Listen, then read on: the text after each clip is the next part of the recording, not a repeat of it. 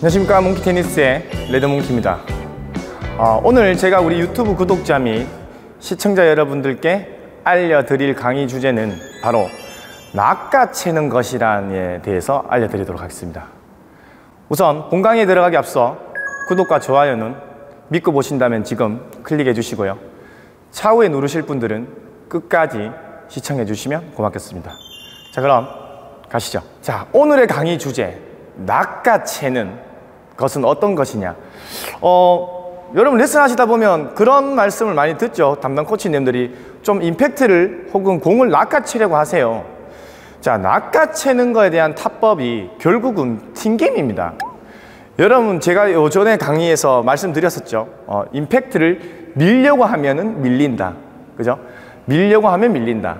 자, 그 안에서도 제가 낚아챈다는 표현을 많이 썼는데요. 이 낚아챈다는 것 자체가 결국은 내가 공을 순간적인 시간을 좀 기다리고 있다가 순간적인 힘을 발산시키기 때문에 어떻습니까? 튕길 수 있는 타법이 형성되는 것이죠. 아, 저는 제 레슨자들에게 이 낚아챈다는 표현을 할때 어, 이런 비유를 듭니다.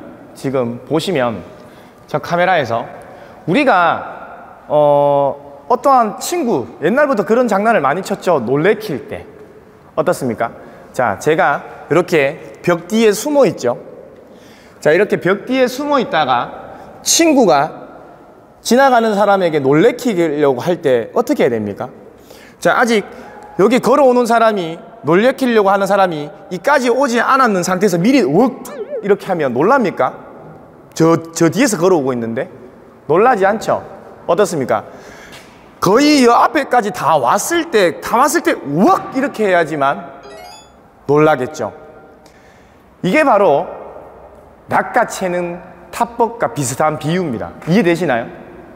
우리가 라켓을 기본적으로 옆에 카메라에서 보시면 테이크백을 하고 임팩트를 스윙이 나갈 때 미리 여러분들 특히 초급자분들이 제가 예전에 이런 강의 했었는데요 어, 이렇게 쭉 천천히 나오다가 나오다가 임팩트 순간부터 힘을 주려고 하죠 자 그렇게 스윙을 하시면 낚아챈다는 표현이 될 수 없죠 어, 이거는 좀 전에 제가 비유했던 것처럼 미리 친구가 아직 오지도 않았는데 미리 나와서 억 이렇게 소리를 지른 것과 똑같습니다. 그럼 놀라지 않습니다. 자 테니스 스윙도 테이크백을 한 상태에서 미리 진행을 한 상태에서 임팩트를 힘을 주면 공이 힘이 실리지 않아요. 어떻습니까?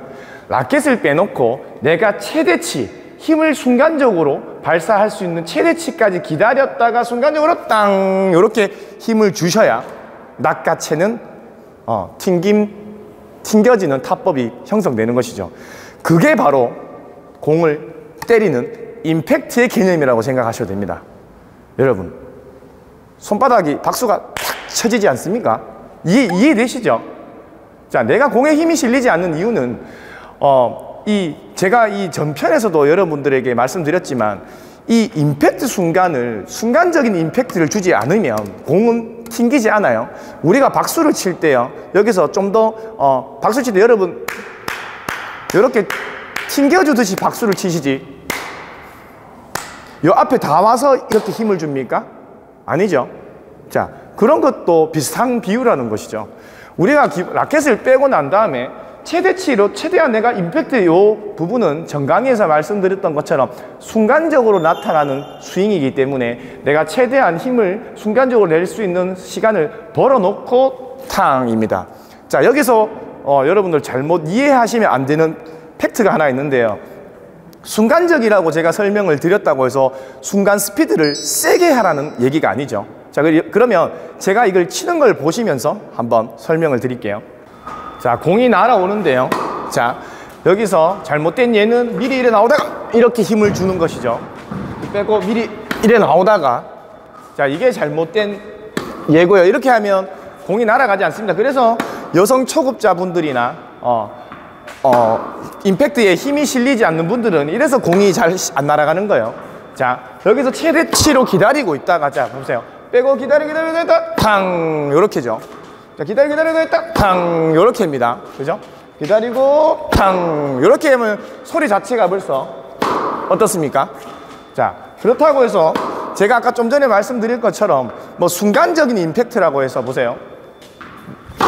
무조건 이렇게 그죠? 딱 기다렸다 이렇게 세게 치라는 게 아- 아니라 자 기다리고 있다 이렇게 치셔도 그죠? 여기서 여러분들이 민 것처럼 보이지만 어 지금 저도 튕겨서 살짝의 이 튕김의 강도로 임팩트를 형성하고 있는 것이죠. 네, 튕김의 강도, 튕김도 제가 순간적인 이 스피드를 낚아채는 거를 어, 숫자로 표현했을 때 10이 있으면 어, 1에서 10까지의 내가 순간적인 스피드를 조절할 줄 아시면 자 10까지 줬을 때는 공이 파- 엄청 내가 full, full power로 순간적으로 낚아채는 것이고 2나 3을 줬을 때는 좀 더 컨트롤하면서 여러분 그 중급자나 상급자 분들 탑스핀 로브 던지 하실 때 있죠. 어, 자 차- 탑스핀 로브도 어떤 분들은 팔을 손목을 고정시켜 놓으신 상태에서 이렇게 드시는 분들이 있고 조금 고수분들은 오픈 스텝이나 이렇게 잡아 놓으시고 임팩트 순간만 여기 손목으로 탁 이렇게 돌리시죠. 자 그걸 손목으로 낚아챈다고 표현을 해야 되는데 그거를 그러면 강하게 낚아를 채는 걸까요? 아니죠. 예. 그것도 어, 그 순간적인 스피드를 줄이는 것이죠. 약으로.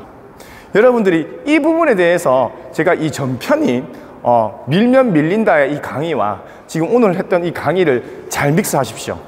요 두 가지 이 두 강의를 잘 이해하신다면 지금보다 훨씬 더 포핸드의 어, 기술력이 뛰어나실 것입니다. 자, 지금까지 제 강의를 시청해 보시고도 마음에 드셨다면 구독과 좋아요 다시 한 번 더 부탁드리고요. 오늘의 강의는 여기서 마무리 짓도록 하겠습니다. 끝까지 시청해 주셔서 감사합니다.